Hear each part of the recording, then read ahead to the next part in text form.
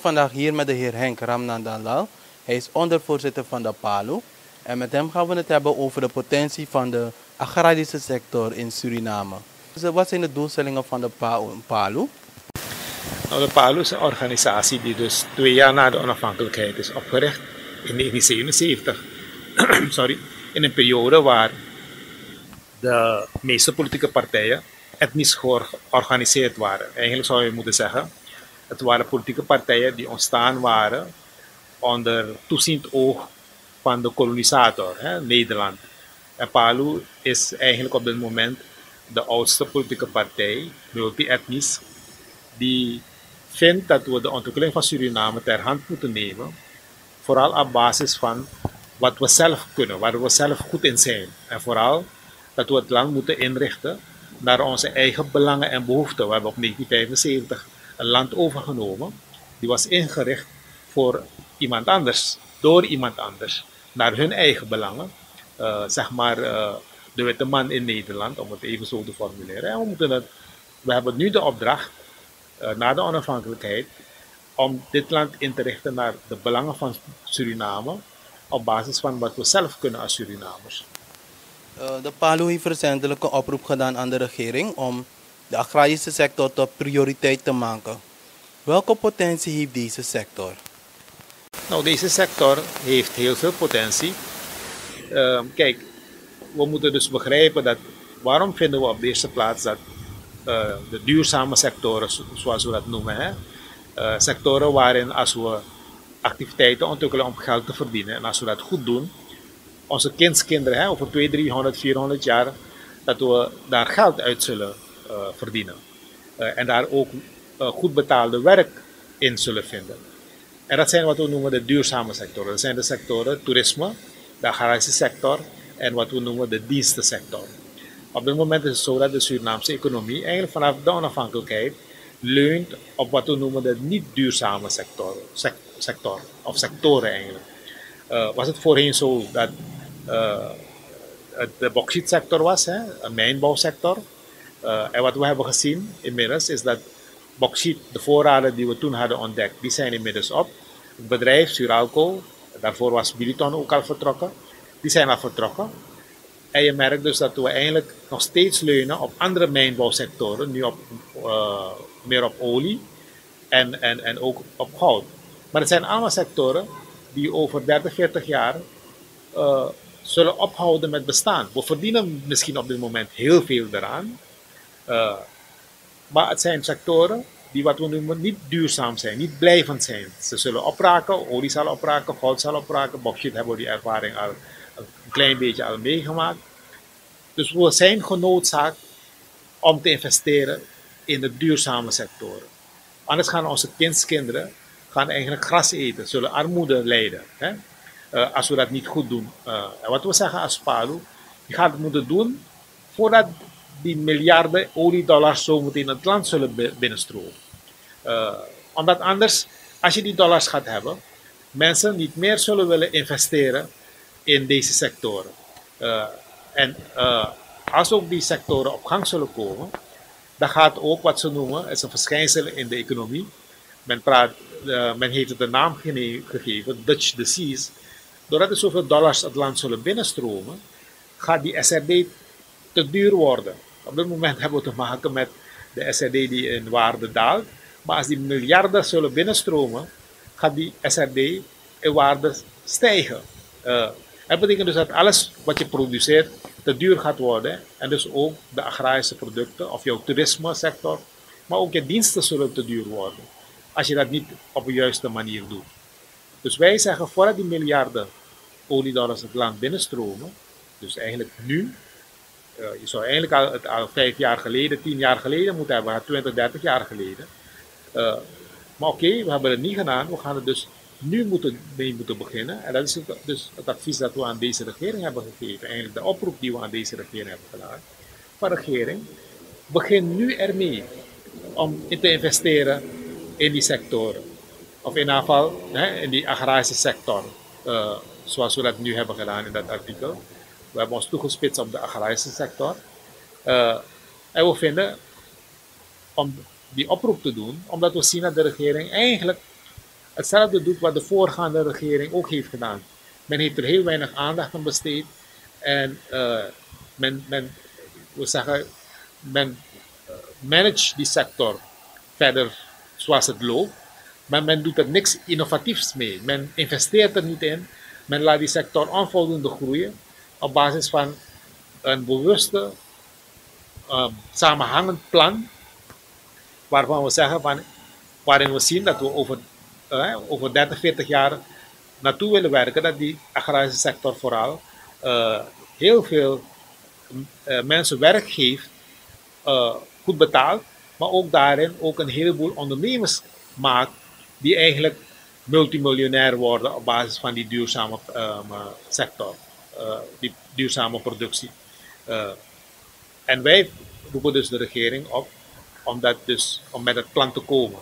In plaats van wat we nu hebben gezien, dat uh, men dus nu de exporten heeft gestopt naar de EU, omdat de, het ministerie van LVV, ik moet zeggen de regering, niet in staat is om samen met de exporteurs, niet in staat is om samen met de boeren, om tot een dusdanige productiemethode te komen, dat onze exporten minder uh, insecten uh, bevatten. Hè? Maar dat is de reden waarom Suriname eigenlijk dreigt op de zwarte lijst terecht te komen. Is omdat uh, in de EU, als die exporten daar aankomen, men te veel daarin allerlei insecten ziet en vindt.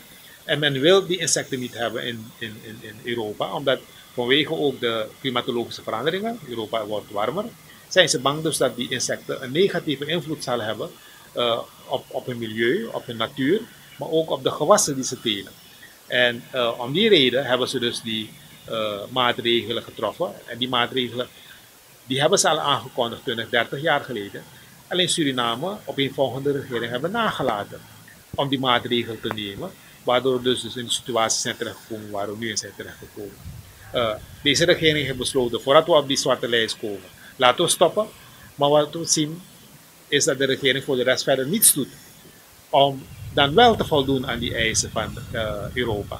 Uh, en zo zou het kunnen doorgaan, is dat uh, er zijn allerlei acties ondernomen door deze regering. Samenwerkingen, zogenaamde samenwerkingen met boeren aangegaan.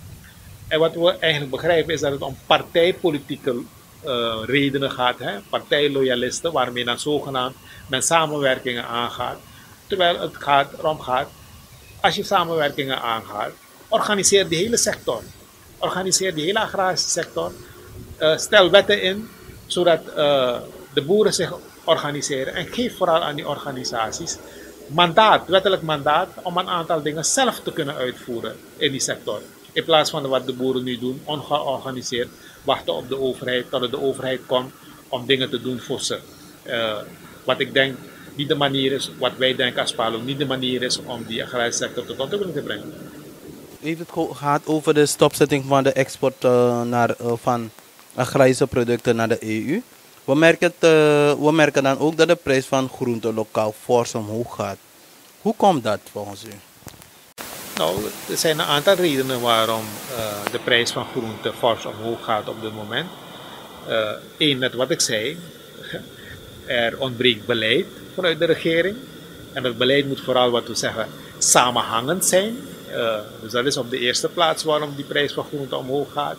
Uh, het tweede is waarom die prijs van groente om, omhoog gaat, is vanwege de, je zou bijna kunnen zeggen, de klimatologische veranderingen, hè, waar we afgelopen maanden mee hebben gehad, mee te maken hebben gehad, waarbij grote arealen onder water zijn geraakt. Dus er zijn heel veel gewassen die zijn vernietigd geworden doordat die gebieden onder water zijn gelopen. En je merkt eigenlijk nu de gevolgen daarvan, een paar weken, een paar maanden later, omdat die gewassen zouden nu in productie moeten zijn en die zijn niet in productie, waardoor er een schaarste is aan allerlei zaken als groenten, uh, pepers, noem maar op, uh, boulanger, uh, waardoor de prijs omhoog gaat. En een derde factor waarom die prijs omhoog gegaan is, is omdat de koers is losgelaten. En waarom begonnen een jaar geleden, op 7,50 is de officiële koers nu gegaan naar 21,22. Dat betekent dus alle inputs zijn in prijs gestegen. Uh, dus de boer die heeft ook daarmee te maken. Kunstmest die in prijs stijgt, bestrijdingsmiddelen die in prijs stijgen, de brandstof die in prijs is gestegen. 15 SRD is het vandaag de dag per liter. Uh, dus je begrijpt De boer kan hun producten niet tegen de prijs verkopen waar we een jaar terug uh, bij waren. Anders zal de boer ook kapot gaan en failliet gaan. Bovendien, de salarissen moeten gecorrigeerd worden. Ja, toch? Want ook de prijzen uh, van levensmiddelen waar de boer op leunt, waar het gezin van een boer op leunt, die zijn ook gestegen in de winkels. Dus de boer moet ervoor zorgen dat hij ook het hoofd boven water houdt. En dus hun prijzen, hun, hun producten uh, uh, op een veel hoog, met een, tegen een veel hogere prijs verkoopt. Dus dat maakt, en dat zie je dus, het is een samenhang van factoren geweest, wat maakt dat we in deze situatie zijn terechtgekomen waar we nu in zijn terechtgekomen.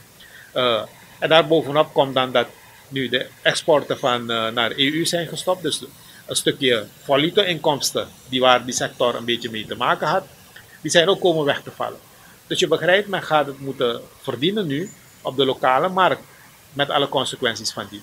Uh, dus ik denk dus dat de enige manier om hieruit te geraken, is dat er vanuit het ministerie van LVV, vanuit de regering, vooral een samenhangend pakket aan maatregelen uh, genomen wordt naar die landbouwsector. Ik zei al, een van de belangrijkste uitdagingen die we hebben, is op de eerste plaats dat we die sector moeten organiseren. Als we die sector niet organiseren, als de overheid niet dan vervolgens taken uitbesteedt aan deze organisaties, uh, gaan we niet komen, gaan we die sector niet kunnen, uh, ontwikkelen. We zien dat, dat voorbeeld hebben we gezien in allerlei landen als China, India, Afrika, hè, waar onze voorouders vandaan komen. Waar, waar je ziet dat elke landbouwontwikkeling op de eerste plaats begint met het organiseren van de boeren. Dat is één ding wat we ter hand zouden moeten nemen. Het tweede, tweede aspect is, we moeten naar producten gaan in de agrarische sector, waar we vooral veel meer aan verdienen dan alleen wat we noemen de verse producten. De verse producten leveren ons te weinig op. We hebben dat in de rijstsector gezien, waar we eerst gewoon de paddy exporteerden. Hè. Vervolgens hebben we de paddy, de schil van de paddy weggehaald en dan krijg je bruine rijst. Exporteerden we cargo rijst, zoals we dat noemen, wat ons dan iets meer opleverde. En vervolgens zijn we dan witte rijst gaan exporteren, hè, wat een veel hogere prijs ons uh, bood. Uh, we verdienen veel meer, we verdienen op dit moment veel meer met witte rijst dan met bruine rijst dan met paddy. En je ziet nu een nieuwe ontwikkeling uh, komen in de rijstsector. En dat is wat we als PALU al jaren uh, propageren, is meer verwerking. En zeker als we naar rijst kijken, dan zie je dat men nu zelfs rijstolie produceert. Ook een product waar je veel meer vangt. Dat betekent dus dat jouw eindproduct in waarde stijgt. Je nu het zodanig als de regering zou moeten organiseren, dat vooral die, vol, die hele sector van verwerker tot transporteur, tot de boer, ook meer gaat verdienen. Begrijpen? Dat is de rol, de taak van de, van, van, van de, van de uh, overheid. Je kan niet maken dat alleen maar de exporteur of de verwerker heel veel verdient en de boer honger lijdt en eigenlijk failliet dreigt te gaan. Dat kan je niet hebben in de sector. Je gaat het moeten organiseren, je gaat het moeten ordenen zoals we dat zeggen in de paal. Maar ook in andere sectoren, als de groentesector. We weten dat verwerkte groenten een veel hogere prijs biedt. En niet alleen dat, het is ook veel langer houdbaar. Dus je, gaat, je zou moeten gaan naar wat we noemen meer bio-industrie. Dus meer industrie waar je vooral diverse groenten uh, verwerkt tot een eindproduct die een veel hogere waarde heeft. Die langer houdbaar is en die vooral dus jou ook een veel hogere prijs, veel meer inkomsten biedt. Je zal de boeren daaromheen moeten organiseren rondom die uh, bio-industrie, die agrarische industrie, die uh, dat allemaal verwerkt van die boeren. Uh, en je gaat dat moeten doen in samenhang, want als we kijken naar die agrarische sector, vanaf de boer tot de verwerking, tot transport, tot export, er zijn er allerlei faciliteiten die ontbreken. Maar vooral als je dat samenhangend plan daar neerzet en je vervolgens op zoek gaat naar geld, zal je dat geld vinden. En niet op basis van, ja, uh, we hebben geen geld, hè, zoals de regering op dit moment bezig is, dus we kunnen geen investeringen doen. Dus uh, allerlei problemen die op de lange baan worden geschoven, omdat de, regering het geld uh, niet zou hebben. Maar op het moment dat je een samenhangend plan zou neerzetten, waar je vooral aan financierders duidelijk maakt dat elke dollar die je daarin steekt, je binnen 1, 2, 3 jaar het geld eruit haalt, dan vind je zo financierders. Want op dit moment zelfs op de Suriname zijn er mensen die geld hebben. De overheid heeft geen geld. Maar de Surinaamse samenleving, dat zie je aan allerlei statistieken, die heeft meer dan 1 miljard, bijna 1,5 miljard gespaard. En op dit moment worden die spaargelden in het buitenland belegd. Te weinig in Suriname. Terwijl als je dus het moment dat je als land, als regering, mogelijkheden zou creëren, je niet alleen investeerders zou aantrekken uit het buitenland, maar ook investeerders in Suriname zelf zouden geïnteresseerd zijn om hun geld, maar dan niet te laten op de banken uh, uit pure armoede, maar dan dat geld te nemen en te investeren in zaken waarvan ze weten van hey, elke dollar die ik hierin investeer, daar heb ik binnen twee, drie jaar het dubbele ervan overgehouden. Dat is eigenlijk de taak van de Surinaamse overheid. En wat we vinden is dat de Surinaamse regering op dit moment te weinig kijkt naar wat we noemen onze eigen potentie. Te weinig kijkt naar wat we zelf in staat zijn, zouden kunnen zijn om te doen.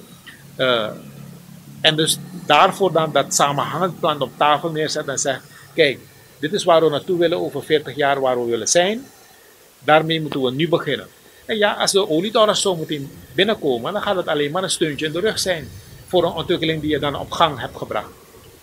En dat is eigenlijk wat we zeggen van de potentie die we zien in die agrarische sector, die we op die manier ter hand uh, zouden willen nemen, waarvan we deze regering oproepen om het dus nu ter hand te nemen. U heeft het gehad over de regering die aangeeft dat er nu uh, minder geld in de kas is voor hun om uh, investeringen te plegen. Maar aan de andere kant zien we wel dat de regering voedselpakketten uitdeelt die overwegend uit importgoederen bestaan. Denk je dat het tijd is, want regeringen op regering hebben dit waarschijnlijk ook misschien gedaan, maar denk u dat het tijd is dat we meer van de lokale producten in onze voedselpakketten gaan uh, stoppen? Ja, dit is dus precies de manier waarop we zeggen, dat is de wijze waarop we als PALU tegenaan kijken. Kennelijk, al die regeringen die hiervoor zijn geweest, de vorige regering, maar ook, zeker ook deze regering, vinden we dat ze te weinig kijken naar de eigen potentie. Zelfs een voedselpakket bestaat voor 99% en waarschijnlijk 100% uit producten die we hebben geïmporteerd, die ons dollars hebben gekost. Terwijl we te weinig kijken naar wat we zelf vanuit Suriname in die pakketten kunnen zetten. Ik begrijp dus dat rijst is het enige onderdeel, geloof ik, in die pakketten. Dus het is niet helemaal 100% uh, eh, wat in die pakketten zit. Uh, maar er zijn nog meer producten die we in Suriname zouden kunnen betrekken, die we in die pakketten zouden kunnen zetten.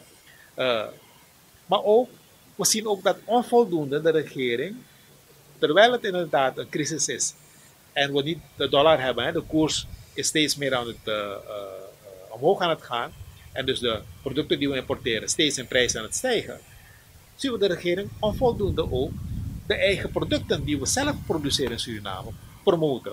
We zien te weinig televisiespotjes waarin de, zeg maar, Stranang Sani, Surinaamse producten, in worden gepromoot.